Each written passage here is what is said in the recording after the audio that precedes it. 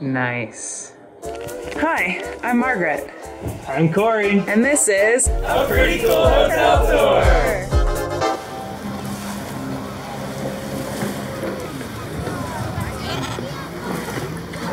we are in Miami, Florida. Did I say that weird? That's the name of the state and the city. We're in Miami. Our Amy. what did you think I was gonna say? We came to Miami because you know what? We needed a little vacation. yeah, we did.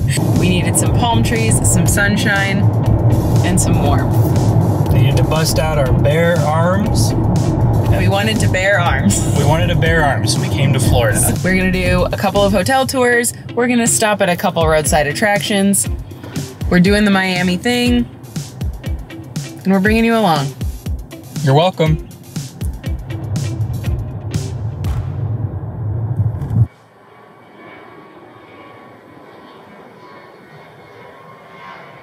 We have such a little jungle around us. Very, very, very impressed with the light show, with the setup. Plus, this incredible pole in the middle of the room. I'm overwhelmed. Location number two. This is the executive suite at the Executive Hotel. Um, how do you turn this guy on? This looks fun. There it is. Wow. All the way up the stairs to the balcony. We have the infamous love chair. The moment right here, this is why you get the executive suite, because it has a heart shaped tub. Executive hotels kind of own the Miami Love Hotel scene, so we had to stop by another one. Not so bad. On to the next. On to the next. So we've gotten a theme room, we've gotten a heart tub, and now we're hoping for a good time. So this is the Goodtime Hotel. We've got a little bathroom over here and a cute little cubby of a room. Tiny little fridge in this little bedroom. Ready for a good time?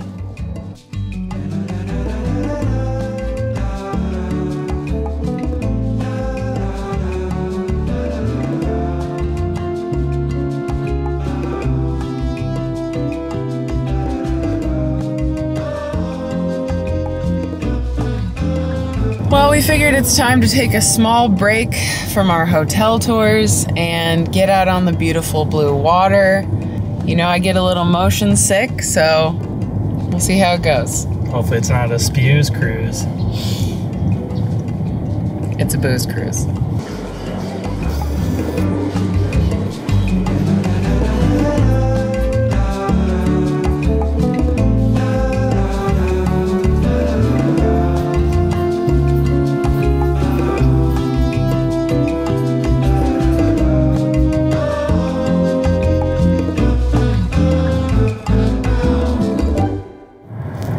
Next stop, the standard.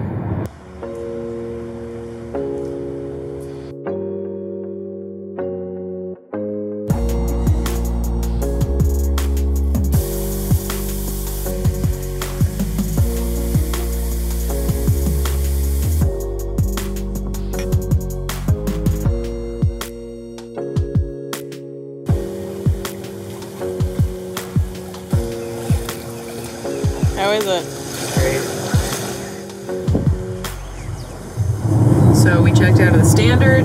We have now seen several hotels that Miami has to offer. And in the famous words of Papa Roach, This is my last resort. this is my last resort. Here we go. Final resort.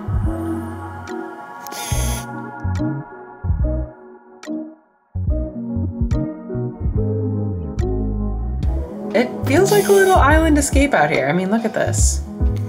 I mean, it is kind of an island, I guess, isn't People it? really should find out about this Miami place. You know what? And we have a sitting area in the living room. But my favorite part of all, this is the money right here. Wow. Good spot. Good spot, good view. Guess I know where I'm having my morning coffee. This feels like a treat. Let's go enjoy it.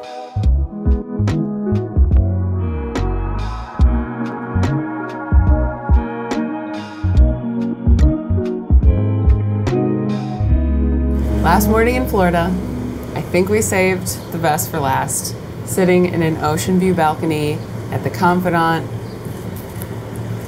Cheers. Cheers. Miami is very known for its love motels. I think there are probably over 100 heart shaped hubs in Miami alone. It's pretty wild. It's a good per capita. First stop was Estancia, which is a classic love motel. The details were amazing. There was foliage like you've never seen before, murals. It had it all, and there was a light show. That's the thing. Miami does a really good job at their light shows in their love motels. Executive hotels are a very established uh, love hotel chain in Miami. We've been to a, a few by now. But I wanted to stop at another one. That heart tub moment I really wanted to find in Miami.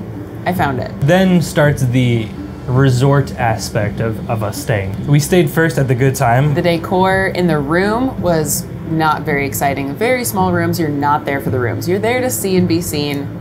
You're there for the pool, you're there for the, the lounge areas. If the good time is the nightclub of resorts out here, the standard is the day spa of resorts. It is more chill, it is more upscale, and the pool is probably the best pool we've seen here. We also hit up a couple of cool local places, one of which was the old Versace Mansion, which is now a hotel. If you like the Versace Mansion or that type of decor, it is such a great spot to go for lunch. We did walk to the Erotic Museum. I'd say it's something to pop into if you have time. We also watched Scarface while we were in Miami, and it made me even more into all the vintage hotels and signs and like that drug lord of the 80s decor is just it's gorgeous. One of the other super fun things we did on this trip was go on a tiki boat cruise, which I didn't even know that was a thing until I was just Googling things to do in Florida. And when I found a picture of a tiki bar floating on the water, I was like, obviously we gotta do that. Last but not least, the Confidante. The decor feels really vintage inspired, but also very kind of classic resort in that this has all the things to offer that I'd want in a, a beach vacation. So I'm really glad we ended here because it feels like we got just a taste of a real vacation. Well, want to hit the beach? I would love to hit the beach. After I apply my vacation sunscreen. Now available. I can tell just by looking at you. You got a little winner and some tiny nuts. Oh yeah, got a dance.